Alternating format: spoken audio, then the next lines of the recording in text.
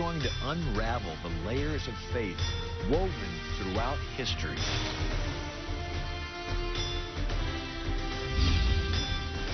More and more, we hear crimes against women that have to do with Islam. For example, in Norway, Sweden, and Denmark, the number one crime is rape. Muslim men raping European women. Why is this? Why are we seeing more and more women wearing burqas? We're going to be examining the history behind Islam and women in this program. It'll be fascinating. You won't want to miss it. Our question of the day which will be answered at the end of today's program, is Who were some women who influenced American history? More and more, we're seeing crimes against women in areas where there's a larger Islamic immigration. Why is this? Well, if we go back, we can see that there is a particular view of women that goes all the way back to Muhammad. Muhammad was married to Khadijah, his first wife, when she was 45 years old and he was just 25. But when she died around 620 AD, Muhammad then married many more wives. There are reports that it was anywhere from 11 to 15, maybe 20, because he got a fifth of the women taken in battle. Now, it's interesting, one of his wives was named Aisha. And Aisha was six years old when he married her. Aisha had her father, Abu Bakr. And Abu Bakr is important in Islam because he was the founder of the Sunnis. And that is the way 90% of Muslims today are Sunni Muslims. And their first caliph was Abu Bakr, the father of Aisha. Now, in the Hadith, we have Aisha's own words. And she says this the prophet engaged me when I was six years old. And she went on to say that uh, my mother came out when I was on the swing set playing with some friends. And she called me, and I went with her, not knowing, uh, she was not knowing where she was going to go next. And then the mother took her and washed her, and several of the Muslim women wished her well.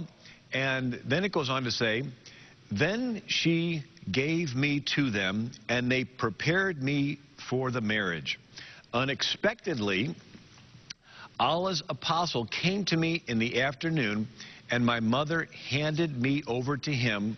And at that time, I was a girl of nine years of age. Sahih al-Bukhari, which was one of the hadiths.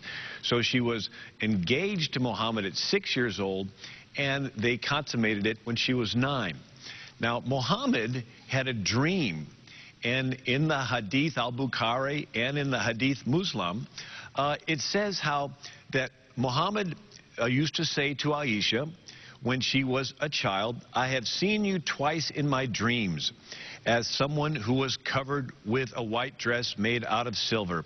And I heard a voice saying to me, This is your wife. When I removed the silver cover, I found you. Then the voice of revelation said to me, This is your wife. So I said, This is the will of Allah, let it happen. So Muhammad married Aisha again when she was six and consummated it when she was nine.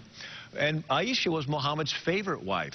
Uh, he did have many more, and one of his uh, servants said in Hadith al-Bukhari that the prophet used to visit all his wives in an hour round during the day and at night, and there were 11 in number. I asked Anas, had the prophet strength for this? Anas replied, we used to say that the prophet was given the strength of 30 men. And so Muhammad had a, a, a, room for each different wife, and every night he would spend it with one of those wives. Now, a problem happened when he had another slave woman named Mary. She was a Coptic Christian taken in battle, and she was Muhammad's favorite wife for pleasure.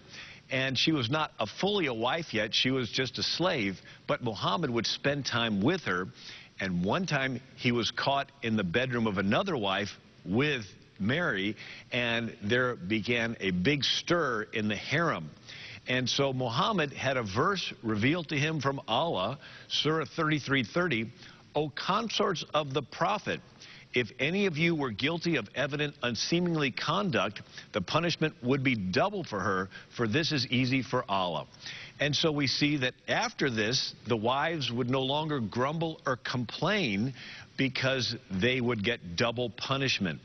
And now, for those that are familiar with the, the, God of the Old and New Testament, we can see that, that Allah is not the same God, and there's quite a difference in the morals and the values there. Uh, in the Hadith, Muhammad said, Women can be married for religion, for fortune, or for her beauty. So marry one for religion. Uh, there are the names of his wives. Here is the, the list of the names.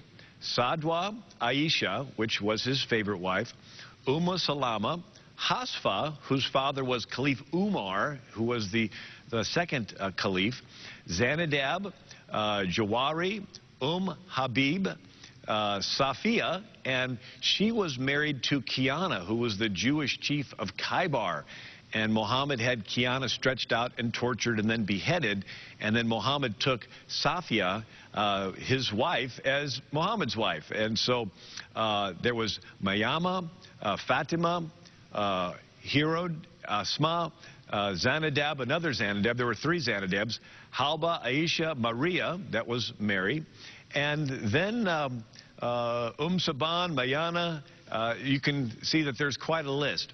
Now, Muhammad uh, in the Quran lays out some distinctions.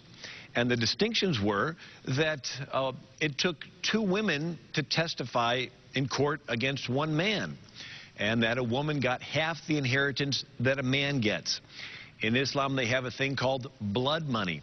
And blood money is the retribution paid to a family on the death of a family member. And so when somebody is murdered. And so the blood money for a woman is half of the blood money for a man. Blood money for an infidel is half of the blood money for a male Muslim. And so if you are a Christian or a Jewish woman, you are literally worth a half of a half. You're worth half because you're an infidel, and you're worth half again because you're a woman. And so we see that equality was not something that came from this belief system. Now, Muhammad had an adopted son named Zaid, and Zaid was married to Muhammad's cousin, Zanadab. One day, uh, Muhammad went to visit Zaid, and Zaid was not there, but Zanadab was. And she was dressed scantily, so Muhammad desired her. And it got so out of hand that finally Zaid had to divorce Zanadab so Muhammad could marry her. Now, this was still abhorrent in Arab culture for a man to have relations with the same woman that the son had relations with. But Muhammad had a verse revealed to him from Allah giving him permission. And it's Surah 33 37. It says, Fear Allah. Then when Zaid had dissolved his marriage with Zanadab, we joined her to thee. Now it's interesting, in the Quran, whenever Allah speaks, it's always in the plural. So we joined her to thee in marriage in order that there may be no difficulty to believers in the matter of marriage of the wives of their adopted sons. Now, this verse actually ended adoption in Islam.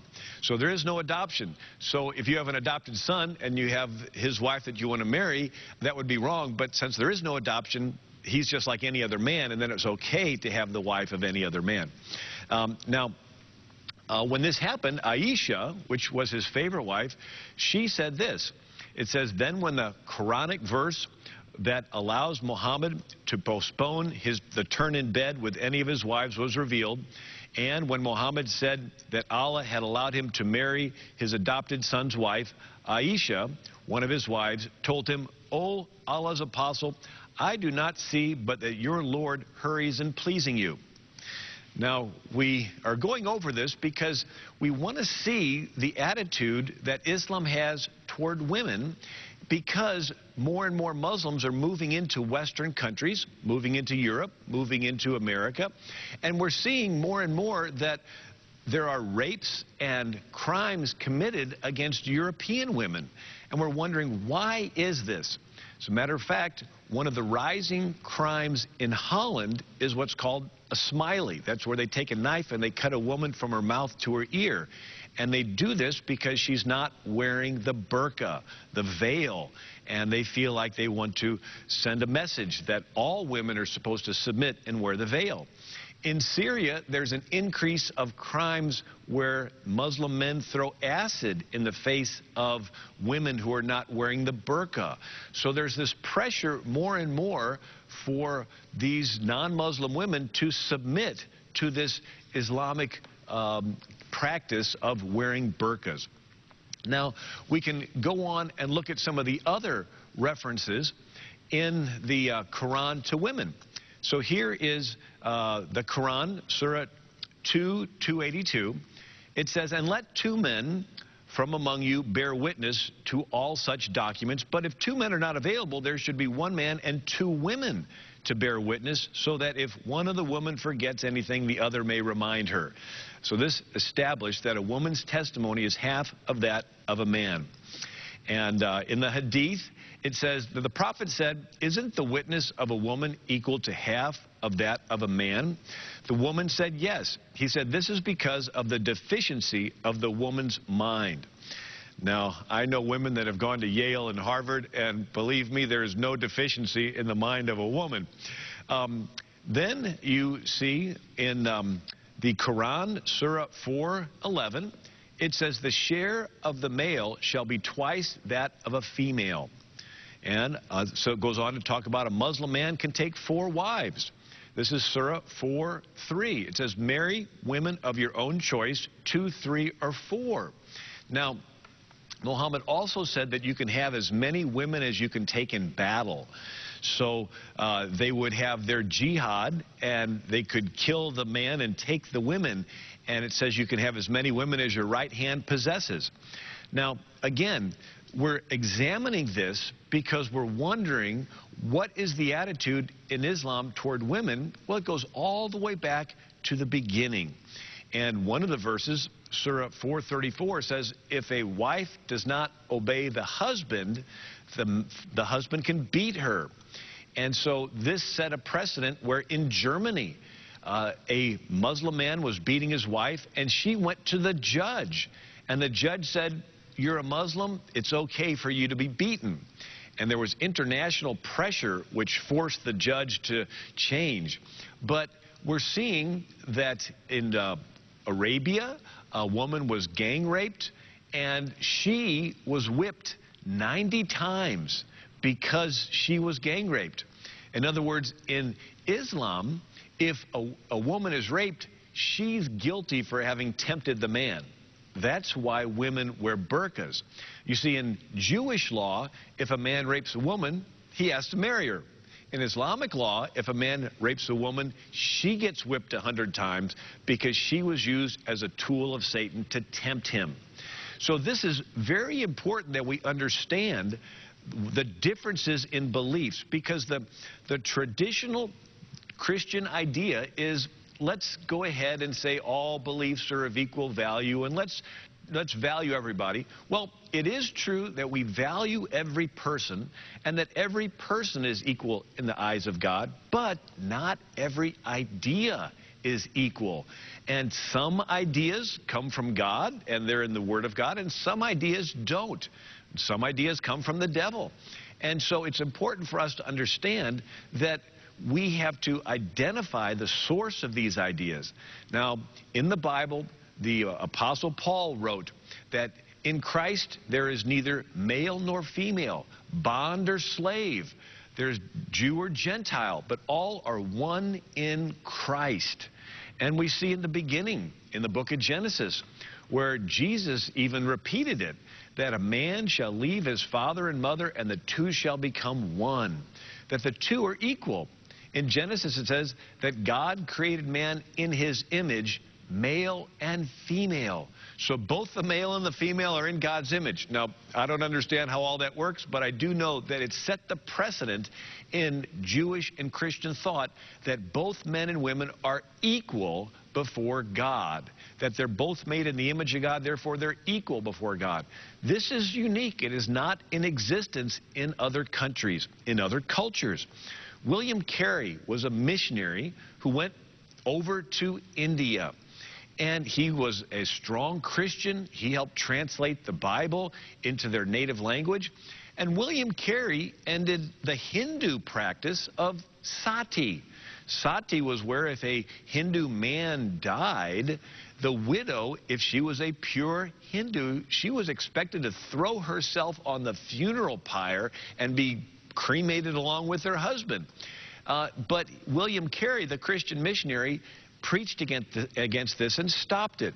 So we can see that the Judeo-Christian view adds a higher value to women than many other beliefs in the world.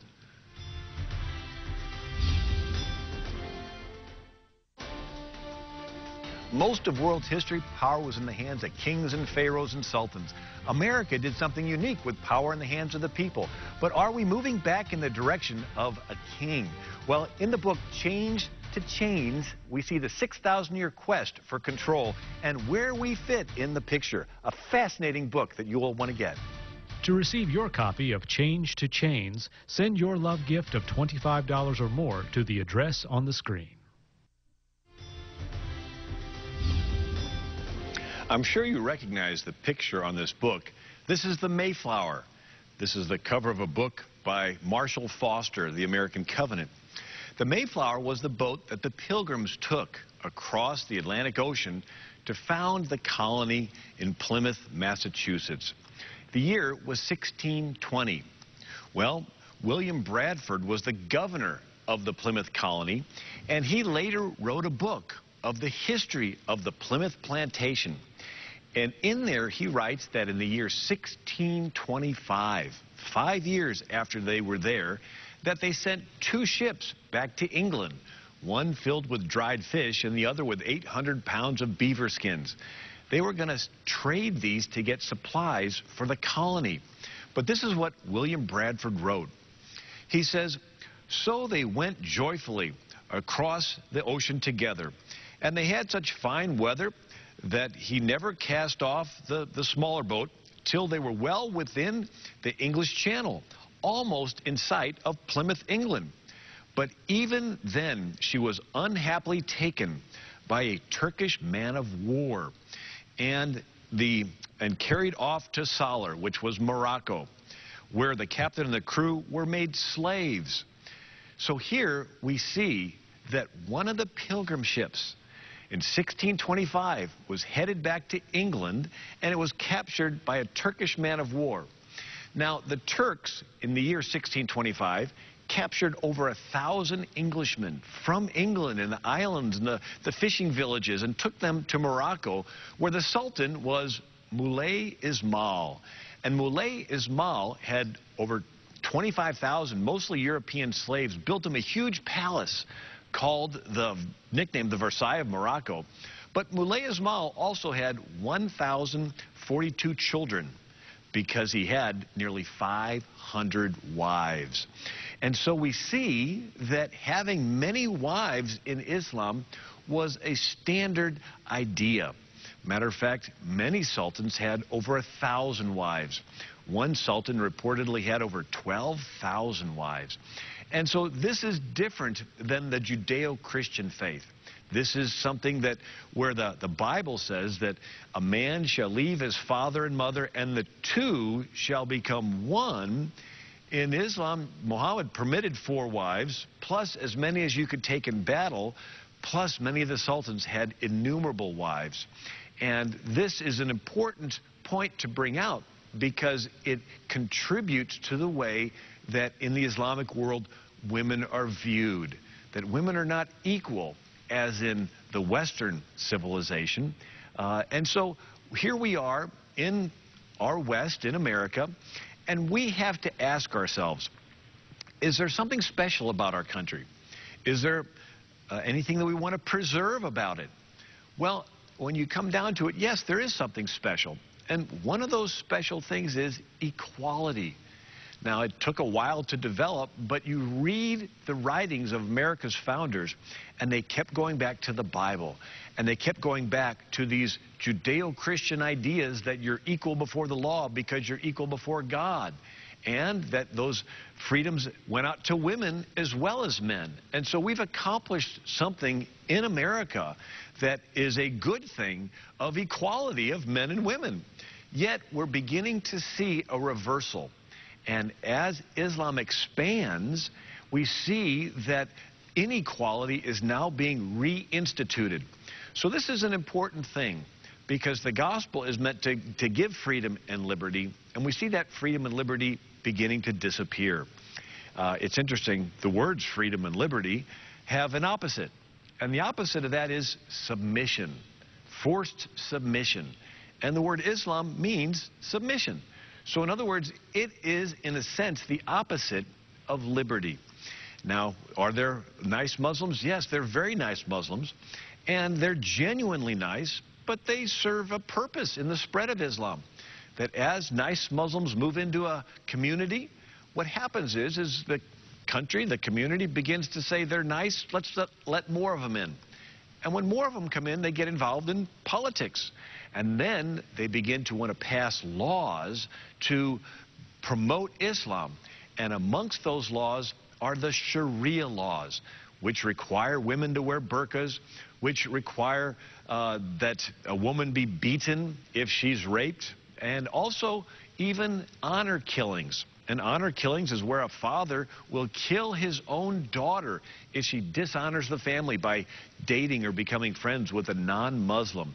And so we see that this country that's given birth to freedom and equality is beginning to introduce something that is at odds with freedom and equality. And we should learn the history so we can make better decisions for today.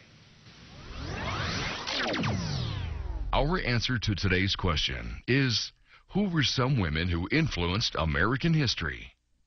Betsy Ross is credited with sewing the American flag. Harriet Beecher Stowe wrote the abolitionist novel Uncle Tom's Cabin. Sojourner Truth preached against slavery. Harriet Tubman led the Underground Railroad. Julia Ward Howe wrote Battle Hymn of the Republic. Susanna Dickinson survived the Alamo. Anna Jarvis lobbied to create Mother's Day, as did Sonora Louise Smart Dodd Father's Day. Susan B. Anthony crusaded for a women's right to vote. In 1838, John Quincy Adams told Congress, quote, History has innumerable examples of women who not only took an active part in politics of their times, but who are held up with honor to posterity for doing so. Our Savior himself, while on earth, performed that most stupendous miracle of raising of Lazarus from the dead at the petition of a woman. Unquote. We've been having a fascinating study of Islam and women. Uh, here's a book called Inside Jihad, written by Dr. Tawfik Hamid. And he reports about the Sydney gang rapes. This was in 2006, where four women were brutally raped by a group of Muslim men.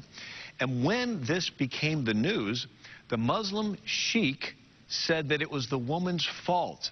And he describes how if you set some raw meat out, you can't be surprised if an animal comes and grabs it.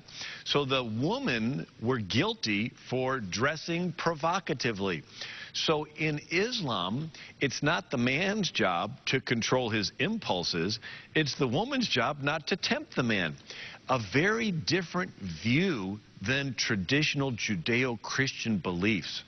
We're seeing more and more of this. Matter of fact, there's a woman named Ayaan Hirsi Allen, uh, Ali, and she is from Somalia, but she went to Holland. Uh, the Dutch uh, had her elected even to their government. And in 2004, um, Ayaan Hirsi Ali had a documentary film done with a filmmaker named Theo Van Gogh.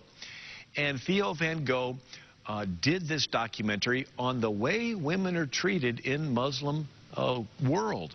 And unfortunately, he was murdered, and a note was stabbed into his chest that they were going to kill Ayaan Hirsi Ali next. And so she fled, but she documents and writes about this treatment.